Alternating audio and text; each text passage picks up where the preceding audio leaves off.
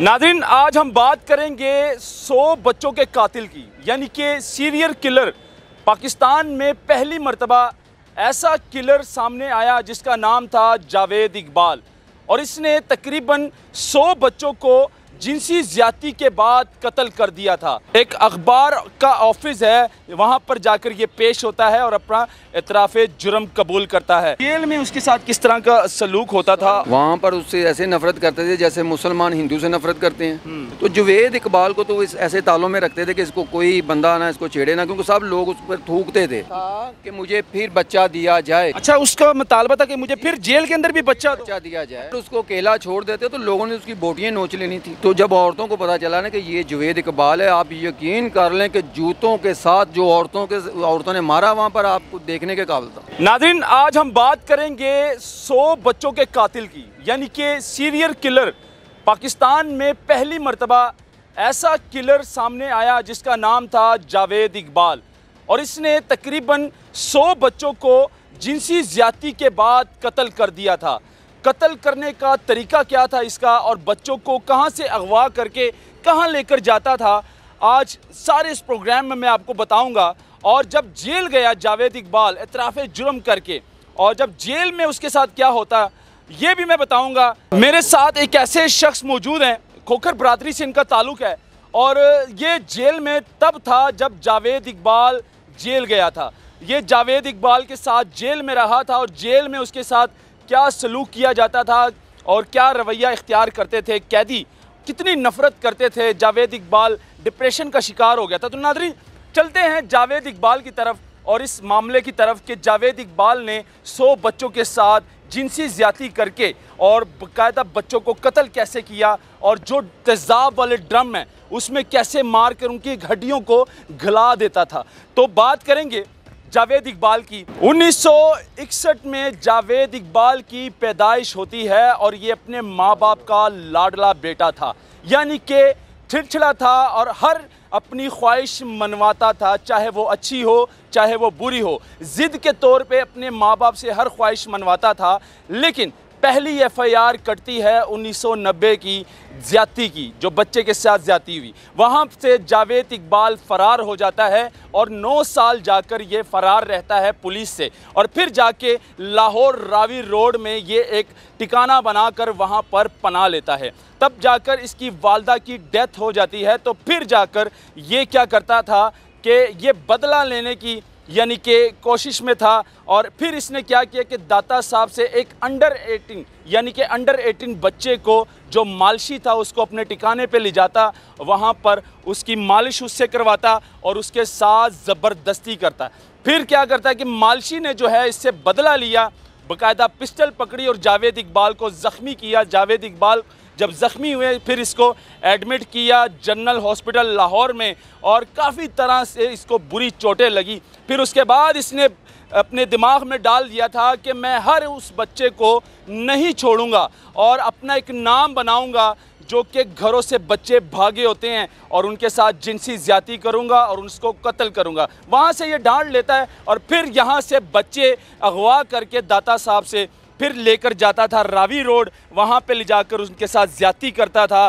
ज़्यादती करने के बाद उसने अपने घर में ड्रम रखे थे जो तेज़ाब से भरे हुए थे। बच्चे को कत्ल करके तेज़ाब के ड्रम में डाल देता था और उसके बाद बच्चे की हड्डियाँ तक नहीं मिलती थी। तो उसके बाद क्या होता है, जब ये 98 मर्डर करता है, यानी कि अट्ठानवे कत्ल के बाद ये खुद जाकर एक अखबार का ऑफ़िस है, वहाँ पर जाकर ये पेश होता है और अपना इतराफ़ जुर्म कबूल करता है। तो फिर जाकर इसकी सारी कहानी सामने आती है आवाम के सामने। इसने ऐसा क्यों किया? ये अपना एक नाम बनाना चाहता था। 31 दिसंबर 1999 में इसने जाके इतराफ़ जुर्म किया और अपनी सारी कहानी बताई।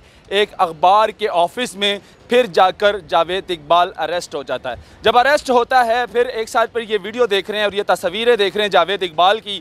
आपको किस तरह ये अदालत में लेकर जा रहे हैं और इससे इतराफ़ जुर्म कबूल किया जा रहा है कि क्या कितने मर्डर किए हैं कितने नहीं। फिर कहानी होती है जेल की। जेल जब जावेद इकबाल पहुँच जाता है तो जेल में हमारे साथ एक ऐसे शख्स मौजूद है जो जावेद इकबाल के साथ जेल में रहा। और जेल में क्या होता है इनसे बात करते हैं। अस्सलाम वालेकुम। कैसे हैं आप ठीक है।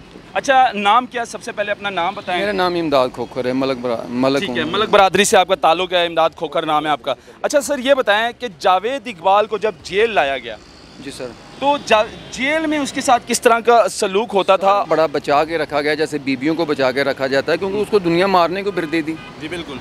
वहाँ पर उससे ऐसे नफरत करते थे जैसे मुसलमान हिंदू से नफरत करते हैं। हम्म, तो वो जेल में इसलिए संभाल के रखा जाता है कि जेल वालों को उनकी ड्यूटी में होता है कि वो जो भी इंसान जुर्म करके आया है उसकी हिफाजत करें वो। हम्म। मैं आप, आपको कहता हूँ कि आप खाने से इनकारी कर दें तो आपको वो मारेंगे। कि आप खाना क्यों नहीं खाते? आपको ज़बरदस्ती खाना खिलाएँगे। तो जुवेद इकबाल को तो इस ऐसे तालों में रखते थे कि इसको कोई बंदा ना इसको छेड़े ना क्योंकि सब लोग उस पर थूकते थे। इतनी नफरत करते थे जुवेद इकबाल से।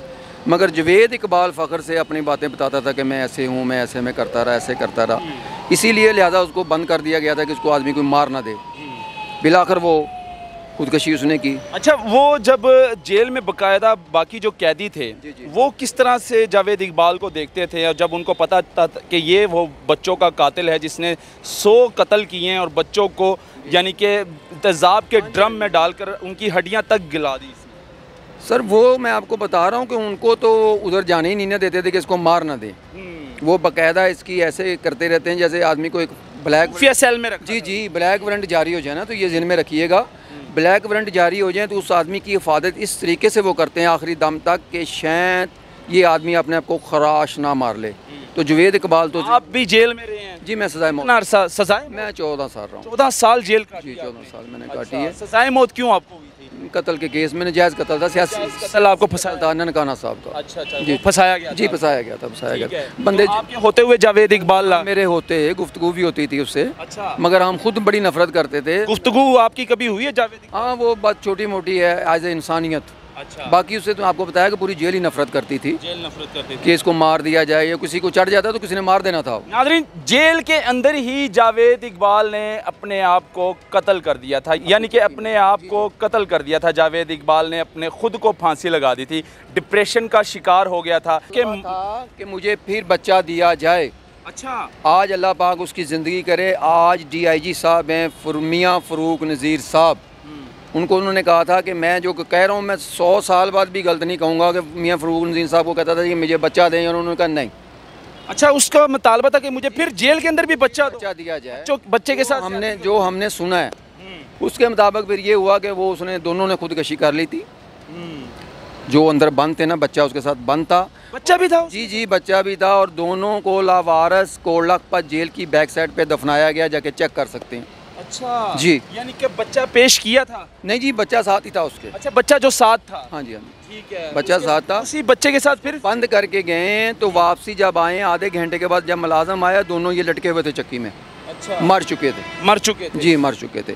उसको बच्चों से इश्क था इस कदर के आपको क्या बताएँ वो बस जहनवी आदमी था। मुझे नहीं यानी कि बच्चों के साथ बदफेली करता था मैं बड़े शौक से करता ज़्यादा करता था। जी, जी, जी, बड़े- बाद में उसको यानी कि मार देता था कतल कर अगर उसको केला छोड़ देते तो लोगों ने उसकी बोटियाँ नोच लेनी थी। ये फैसला हुआ भी था जो बच्चों की माएँ थी जी, जी, जी। वो जज को कह रही थी कि जज साहब हमें दें हम इनकी एक एक बोटी करके ड्रम में डाल के इसी तरह गालें जैसे हमारे बच्चों को इसने गाला है। फिर उसके बाद किसी माँ ने कहा कि जज साहब इसको मीनार पाकिस्तान से ऊपर से नीचे फेंका जाए और तीन से चार दिन मीनार पाकिस्तान को बंद कर दिया जाए ताकि उसकी बोटियाँ चील कौवे नोच के खा जाएँ। तो इस तरह की सज़ाएँ सोच के रखी थी। लेकिन जब वो जेल गया तो डिप्रेशन का शिकार हो गया और इसको सज़ा सुनाई गई थी एक सौ पैंसठ साल। एक सौ पैंसठ साल सज़ा सुनाई गई थी जज के साथ। औरतों ने उसको मारा भी था बाहर बाहर जब ड्यूटी है ना वहाँ पर ये इसको बुरका पहना के ले जा रहे थे इसके केस ट्रेलर होते थे। तो जब औरतों को पता चला ना कि ये जुवेद इकबाल है आप यकीन कर लें कि जूतों के साथ जो औरतों के औरतों ने मारा वहाँ पर आपको देखने के काबिल था। फिर पुलिस वालों ने इसको बचाया क्योंकि पुलिस वालों ने बचाना होता हर कीमत पे।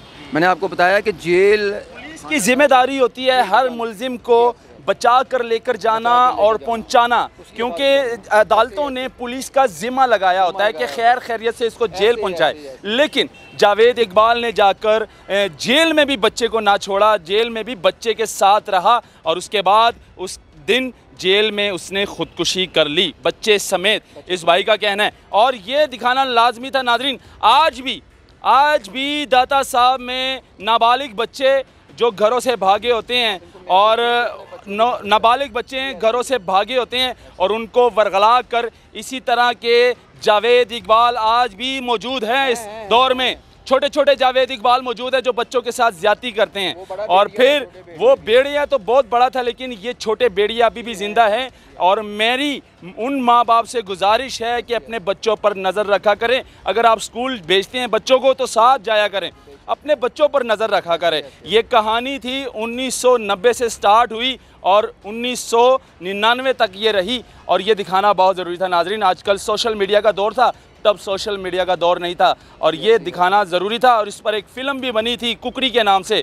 जावेद इकबाल किस तरह बच्चों को अगवा करता है, उसके साथ जिनसी ज़्यादा करके उसको कत्ल कर देता था। तो ये सारे मामलात है, ये सीरियल किलर था जावेद इकबाल, जिसने सौ बच्चों को मार कर कत्ल कर दिया और उसकी हड्डियाँ तक ना छोड़ी। अल्लाह हाफिज़।